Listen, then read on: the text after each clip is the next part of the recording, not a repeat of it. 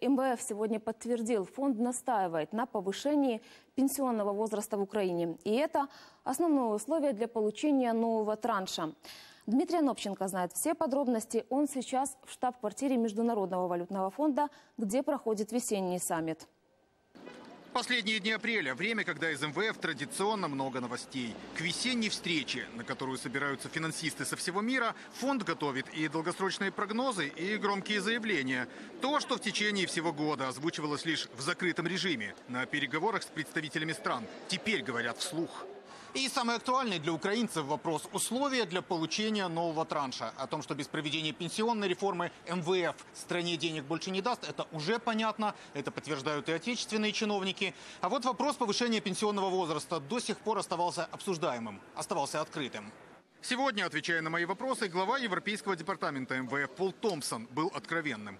Фонд считает абсолютно необходимым, чтобы страна повысила возраст выхода на пенсию.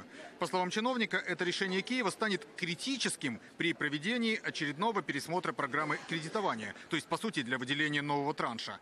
Э, на пресс-конференции мистер Томпсон уже официально, что называется, под запись подтвердил этот факт. Да, повышение нижней границы возраста выхода на пенсию является критическим. Это, безусловно, то, что будет обсуждаться. И будет важным при обсуждении нового транша увидеть четкий план, как планируют реализовать.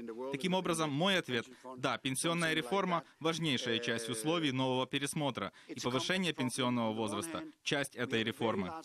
Сказанное сегодня в фонде явно будет обсуждаться с украинскими чиновниками, которые находятся сейчас в Вашингтоне. Весенний саммит длится до воскресенья включительно, и в эти дни у отечественных финансистов, в частности главы Минфина страны, много возможностей обсудить украинский вопрос, в том числе и неофициально, в кулуарах. Ну а в целом, что касается и мировой экономики, и экономики Восточной Европы, то эксперты МВФ довольно оптимистичны. Они прогнозируют пусть и небольшой, но стабильный рост. Хотя есть и фактор неопределенности, политической неопределенности, тот же Брекзит Великобритании, или, к примеру, о последствиях возможной победы Мари Пен на выборах во Франции. Все сегодня спрашивали чиновников фонда. Но политику в МВФ комментировать отказываются, причем категорически. А вот на выполнении экономических требований всеми, в том числе и Украиной, настаивают довольно жестко.